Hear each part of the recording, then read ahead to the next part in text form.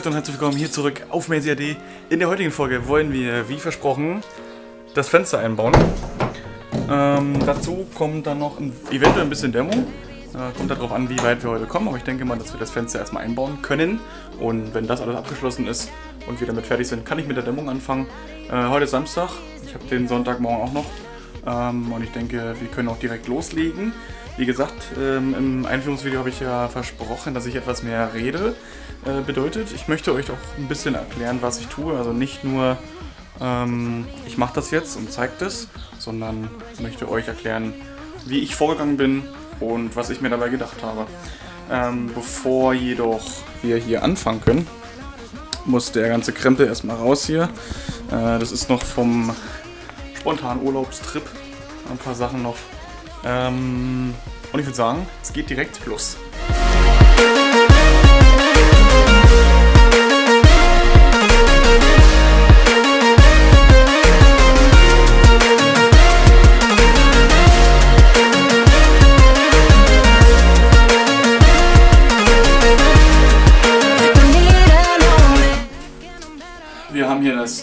S4 gekauft. Das ist in den Maßen 90 lang und 53,1 glaube ich hoch. Das ganze Teil hat auf jeden Fall ein Ausstellfenster. Ja, das war mir wichtig, das fand ich in dem ähm, Bus davor schon ganz cool. Ja, dass man einfach, wenn es regnet, Fenster auf, regnet nicht rein, fertig. Ähm, dazu hat das Dometic S4 auch noch eine, ein Insektengitter und ein Sonnenrollo. Insektenschutzgitter und Sonnenrollo, ähm, was man gleichzeitig, also auch kombinieren kann. Man kann das zusammenhaken und dann kann man zum Beispiel Hälfte, Hälfte, ja, Hälfte Insektengitter, Hälfte Sonnenschutzrollo. Also, jetzt bauen wir erstmal die Pappen aus und dann haben wir das nackte Blei- Blechkleid vor uns. Ähm, und dann können wir damit weitermachen. Ja, weil durchs Holz wollte ich jetzt nicht schneiden, das kann man sich gut aufheben. Ja, besser haben als brauchen. Hast du dir mal so eine Sichtkiste holen? Da drin ist, ausschütten? Ja, wenn da was drin ist. Ich habe eigentlich noch Leere da hinten. Eigentlich. Wie erwartet sind hier natürlich diese Flatterräume. Die sind eigentlich im Prinzip genau gegengeklebt mit so einem Karosseriekleber, mit so einem Gummi. Und die müssen aber raus irgendwie. Das passt doch. Aber wir bauen uns gerade die Schablone, ähm, weil wir das entsprechend so besser anzeichnen können. Also wir messen das jetzt nicht direkt auf dem Blech aus, sondern bauen dafür mit diesem Furnier einfach nur die Schablone. Legen sie auf, zeichnen an und dann können wir es ausschneiden.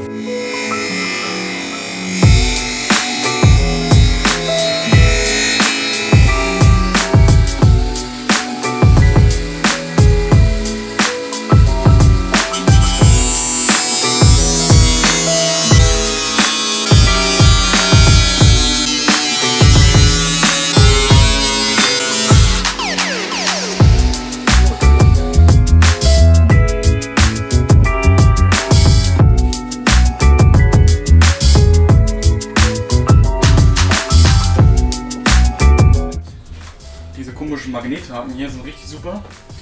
Hatte ich mir damals mal gekauft, weil ich nicht unbedingt äh, Löcher äh, ins Blech vom T4 bohren wollte. Ähm, deswegen, ja, einfach nur Magnethaken. Äh, mit denen haben wir jetzt die Pappe festgeklebt, festge festmagnetisiert, festgemacht, äh, fixiert. Äh, angezeichnet haben wir jetzt schon. Jetzt haben wir von außen mit Kreppband äh, ein bisschen was abgeklebt. Von innen machen wir es auch, weil die heiße Späne äh, ja, im Optimalfall nirgendwo hinkommen sollte, weil dann kann es ruckzuck anfangen zu rosten. Das sind so die Vorbereitungen, die wir jetzt treffen. Und danach geht es auch schon ans Aussehen.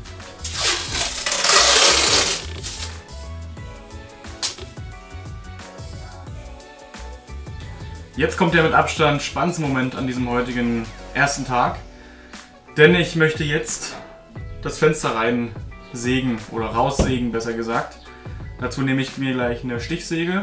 Äh, Wir haben das überlegt, mit einer Flex zu machen. Haben uns dann aber doch dafür entschieden, das mit einer Stichsäge durchzuführen.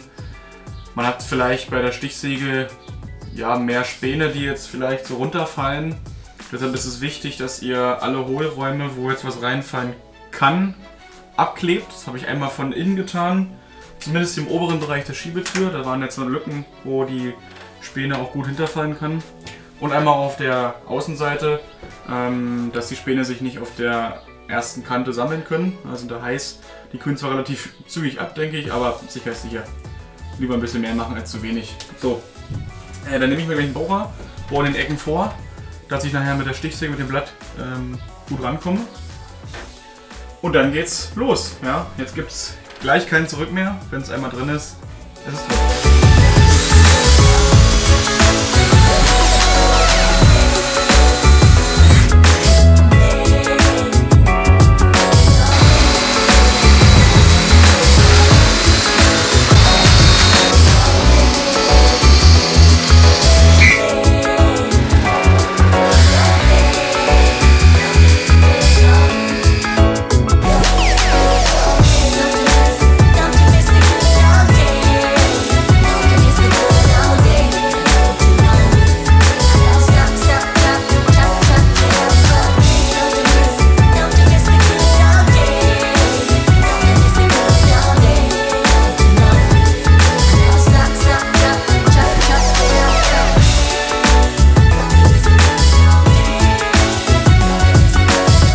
Zur Erklärung. Wir haben jetzt gerade die, den Rahmen ringsrum festgeschraubt. Dann haben wir die Löcher schon mal ja, durchgestochen mit den, mit den Schrauben. Einmal kurz festgeschraubt, wieder losgemacht. Damit wir nachher beim Einbau ähm, die Schrauben schön gerade reinsetzen können, ja, dass sich das nicht irgendwie verzieht.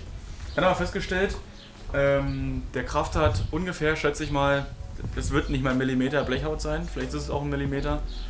Ähm, das Holz ist in der Höhe 24 mm und Dometic, Moment, Dometic sagt in dem mitgelieferten Handbuch, Wandstärke 1 bis 2 mm müssen 25 mm als Unterlage da sein. Ähm, wir haben jetzt von außen natürlich jetzt noch die Klebschicht, ja, die Silikonnaht hätte ich fast gesagt, nein, die, die Dichtung, die Flüssigdichtung. Ähm, aber wir haben uns jetzt nochmal dazu entschieden, nochmal etwas Furnierholz drauf zu schrauben, dass wir einfach nochmal ein bisschen mehr Unterlage haben. Ja, und dann kommen wir da eigentlich gut hin, schätze ich mal. Ja, wenn man jetzt das Fenster festschraubt, dann verzieht sich der Rahmen. Das macht bei Sonne nachher keinen Spaß, denke ich, äh, wenn es noch ein bisschen weicher wird. Deswegen bauen wir nochmal was unter.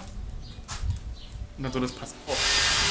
Während Vater jetzt noch ein bisschen Furnierholz sägt, ähm, aus dem Grund, den ich gerade erklärt habe. Und dann passt das. Dann haben wir auch genau 25 mm. So wie es Dominik vorstellt, ist zwar ein halben, äh, nee, ein halber Millimeter mehr, aber der stört glaube ich nicht, der zieht sich. Ähm, da mache ich mir keine Sorgen.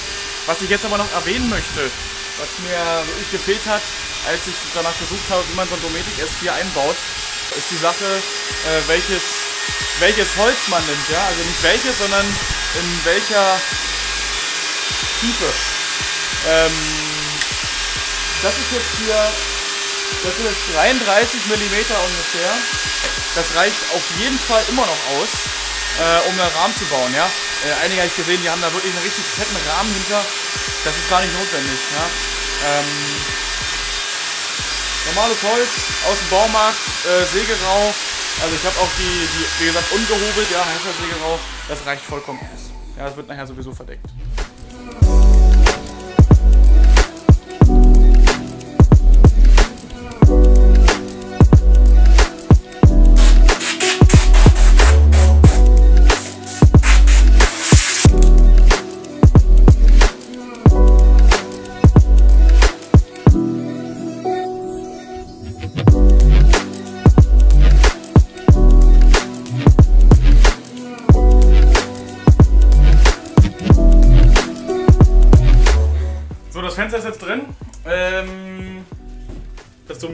90 x 53 cm, also groß genug, um genügend Licht reinzulassen. Es wird vorerst das letzte Fenster sein, was hier eingebaut wird. Eventuell kommen hinten in die beiden Flügeltüren nochmal jeweils eins. Das ist aber nochmal eine Sache, die man später nachholen kann.